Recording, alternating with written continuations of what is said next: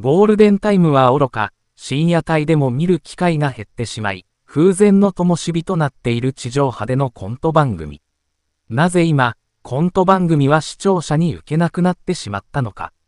これまでに、萩本欽一、ザ・ドリフターズ、うっちゃんなんちゃん、ダウンタウンなどの番組でコントを量産し続けた、放送作家の清水投資にその理由を聞いた。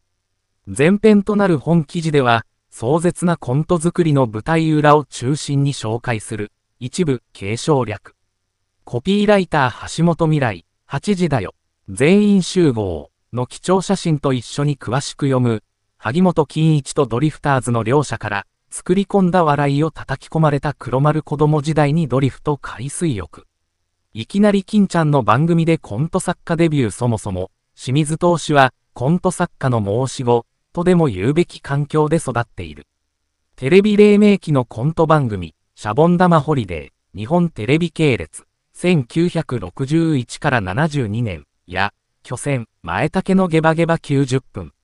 日本テレビ系列、1969から70年、70から71年、などの放送作家をしていた津瀬博士を父に持ち、幼い頃からコントや芸能界に親しんでいた。小学生の時は、親父が自宅に置いていた、ゲバゲバのコント台本を学校に持って行って、友達と一緒に読んだりしていました。漫画を読むみたいな感覚で面白かったですよ。親父には、こっぴどく叱られましたけど、笑。それと、親父に誘われて、ドリフのメンバーと海水浴に出かけたり、芸能人水泳大会などの収録に行ったりして、自然と芸能界って華やかな場所なんだなって思ったことを覚えていますね。このように特別な子供時代を過ごしていた清水氏は、芸能界の華やかさを感じてはいたものの、父と同じ道に進もうという気持ちはなかった。しかし、清水氏が20歳を目前にしたある日、悲しい出来事がきっかけとなり、人生が大きく変わり始める。親父が酒に酔っ払って、東京の赤坂の階段から落ちて亡くなってしまったんです。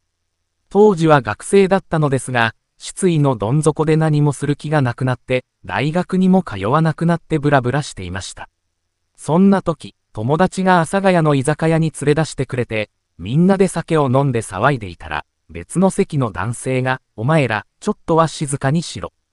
って、すごい剣幕で注意されてね。その人が、とある放送作家の方でした。この放送作家は、亡くなった父親の葬儀で一度だけ面識があった人物で、清水氏が置かれる状況や事情を知り、あるチャンスを与えてくれた。テレビ用の原稿用紙の束を渡されて、これにコントを書いて、金ちゃんのところに持っていけよって。もちろん、コントを書いたこともないし、できるとも思わなかったけど、何もやることがない時でしたから。言われた通りに持って行ったら、日本テレビで放送していた、金ちゃんドラマ、王。怪談家族、でコント作家としてデビューすることになったんです。わら、突如として、萩本欽一が主演を務める番組のコント作家になった清水氏。